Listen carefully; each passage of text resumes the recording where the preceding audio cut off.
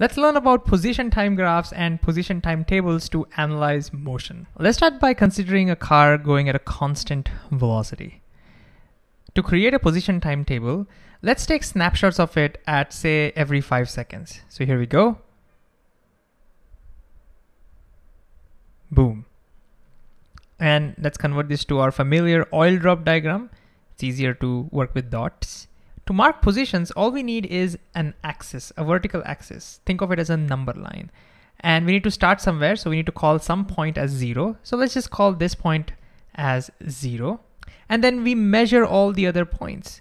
Let's say when I measure this, it turns out to be 10 meters. If this distance is 10 meters, we will now say this position is 10 meters. You can imagine we have chosen upwards to be positive, and that's why this is positive 10 meters. Then we'll measure how far this dot is from our origin. And let's say that happens to be 20 meters. In fact, that should be 20 meters because uh, since we're going since the car is traveling with a constant velocity, it travels the same distance, right? So if this was 10 meters, this would also be 10 meters. So the total would be 20 meters. And therefore this position now is 20 meters. Note that we are measuring always from the origin, not from here, from the origin. And same would be the case over here, this would be 30 meters and this would be at 40 meters mark. Well, we now have our position and time recordings, so we can go ahead and fill up this position time table. Why don't you give it a shot first? All right, let's do it. So at time zero seconds, our position was zero meters. Then at five seconds, our position is 10 meters. Then at 10 seconds, 20 meters, 15 seconds, it's 30 meters, and at 20 seconds, we are at 40 meters. Ta-da, this is how we draw our position time table.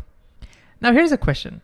If we were not shown the animation or we were not given this oil drop diagram, could we just look at the position timetable and comment on whether the car is accelerating or not? Sure.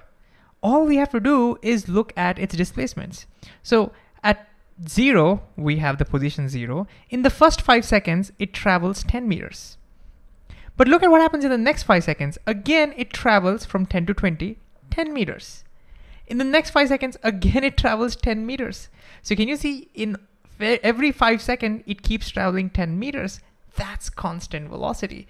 So just by looking at the position time graph, you get the same information as we get from the oil drop diagram. So it's just another way of representing the same data.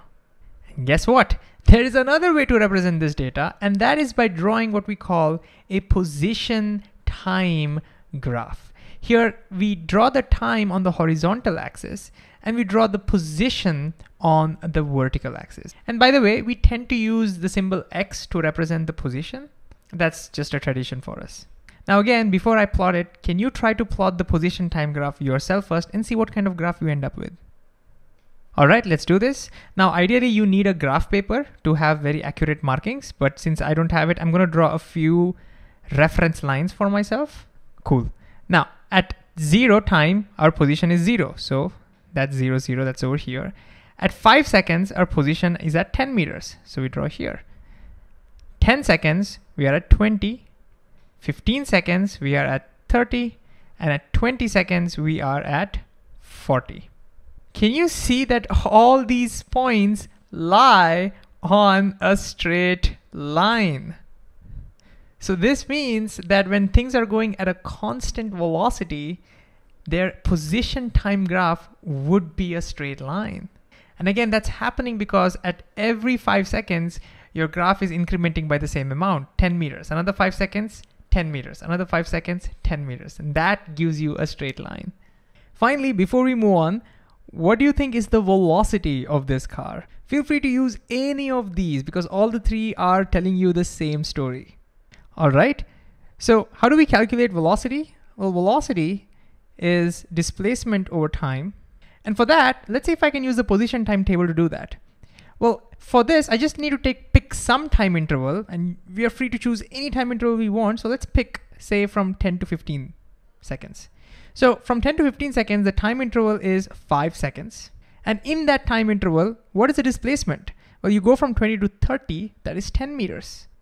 And therefore, what is your velocity? Your velocity is 2 meters per second. And could we get the same thing from our oil drop diagram? Sure. If you go from 10 to 15, in five seconds, it's covering 10 meters. The exact same thing. Do we get that? Can we get that from the graph as well? Well, let's see. If we go from 10 to 15, that five seconds is actually this length. Because remember, in the graph, the horizontal represents the time. So this is the five seconds.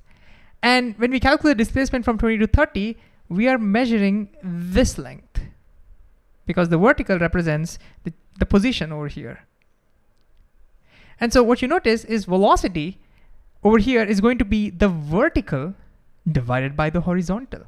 And that quantity, the vertical divided by the horizontal, represents the slope. It literally tells you how steep the graph is. So this means the velocity, or at least the magnitude of the velocity, is given by the slope of the graph. And this is amazing because that means if I had another graph, let's say that looked like this, I can immediately say this is also object going at a constant velocity because it's a straight line. But I can now compare it with this one and I can say, hey, this has less slope and therefore it must be having smaller velocity compared to this. And you can confirm this. For example, in five seconds, our car is over here, but this object, this object is only here. So clearly it's going slower, but just by looking at the slope, you can identify it. And similarly, if I had another object which had a graph like this, and imagine that's a straight line, then again you can say, hey, this is also an object moving at a constant velocity, but it has a much higher slope. Look at it, how steep it is. Therefore, it must be having a higher velocity compared to this. So that's amazing. That's why I love position time graphs because just by looking at the slope, I can compare velocities. That is awesome. Can we check our understanding by taking a couple of more examples? Okay, here's the next one. This time I'm gonna give you a table and why don't you pause and think about what this object is doing? Is it going with a constant velocity? It's accelerating or decelerating? Why don't you pause and think about it? All right, just like before, I will look at the displacement. In the first five seconds, it covers one meter. In the next five seconds, oh, look, it covers, it goes from one to four. That means it covers three meters. In the next five seconds, oof, look, it covers five meters. It's covering more and more distance. That means this car must be speeding up. Immediately I know that this object is accelerating. And if we can go ahead and draw the oil drop diagram for this, it will look something like this. I plotted the same, same story over here, and you see the same thing visually. It's covering more and more distance in every five second. And again, I encourage you to pause the video and see if you can plot the graph yourself first. All right, because I don't have a graph paper, I have drawn some reference lines. So again, for zero, we are at zero. At five, we are at one now. At 10, we are at four, so somewhere over here. At 15, we are at nine, that's over here. And at 20, we are at 16. Is this a straight line? Clearly, no, that's not a straight line. Let's, let's just see that. There's no way this can be a straight line. I cannot draw a straight line. Instead, it becomes a curve. And so when objects are accelerating, we get a curve. But now let's think about the slope. Clearly, because it's a curve, the slope is changing. But if you see here, the slope is less. It's the, the, the graph is not very steep over here. But as I go forward, look, it becomes steeper and steeper. Imagine it's a mountain that you're climbing. It's easier to climb here, but it gets harder and harder to climb. So that means the slope is increasing. Ah, that means the velocity is increasing. So you see, again, the graph also gives you the same information that we got from here. Velocity is increasing. It is accelerating. Here's the final one. This time I'm directly giving you the graph. Can you analyze the motion? What is the object doing? Well, because it's a curve, I know that it's not constant velocity. Its velocity is changing. But is it accelerating, decelerating? What is it doing? Well, let's look at the slope. Initially, the graph is very steep. It's very hard to climb this. So very high velocity. But then notice as I keep climbing, then it becomes easier to climb. It becomes less steep. Ooh, the slope decreases. This means the velocity becomes smaller. So that means this object must be decelerating. And looking at the table and the oil drop diagram, they too tell the same story. And I'm sure you can confirm this yourself now.